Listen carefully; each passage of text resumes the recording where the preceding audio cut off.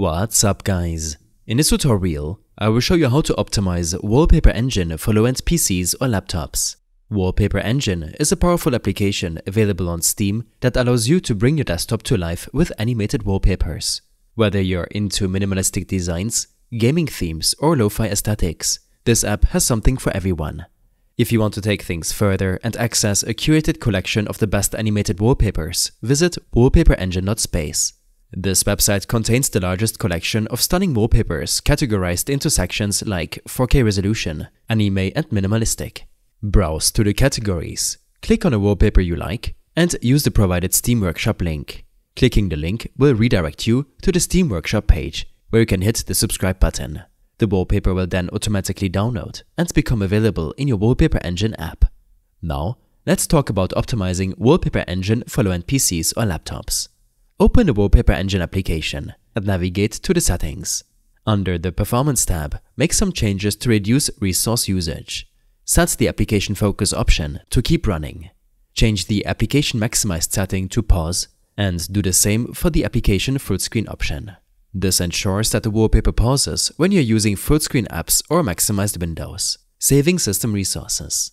For the Display Asleep option, set it to stop to hold the wallpaper entirely when your display turns off. Also, if you're on a laptop, set the laptop on battery playback option to stop. Next, under the quality settings, adjust the preset to low if you're using a low-end PC. This will disable most of the visual options such as anti-aliasing, post-processing, reflections and shadows, and set the FPS cap to 10 frames per second. In the General tab, Make sure Wallpaper Engine does not start on system boot, as this can slow down your PC's startup time. Other general options can be adjusted based on your preferences.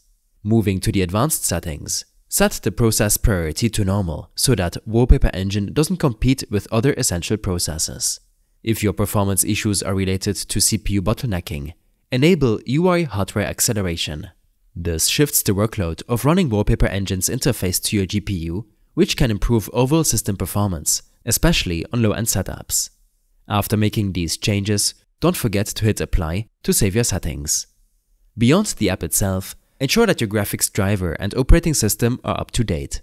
For NVIDIA users, you can use the GeForce Experience application to update your GPU drivers, while AMD users can rely on the AMD driver suite. Once updated, restart your PC to ensure the changes take effect.